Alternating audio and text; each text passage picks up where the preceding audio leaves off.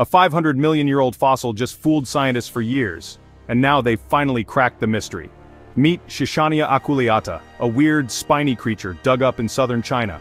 It looked like one of the first mollusks, maybe a relative of snails or slugs. It had what seemed like a muscular foot and spiny armor.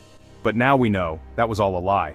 Researchers at Durham and Yunnan universities took a closer look with new imaging tech, and boom! The foot? Just a fossilization distortion. The complex body, total illusion.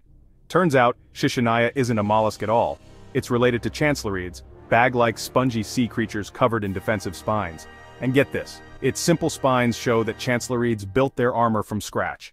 That's a huge clue into how complex life evolved during the Cambrian explosion. What looked like a slug was really a sponge in disguise, and it's changing how we read the fossil record. Fossils can fool us. But with better tools the truth always breaks through. Don't forget to like, share and subscribe for more ancient discoveries that rewrite the story of life on Earth. LG News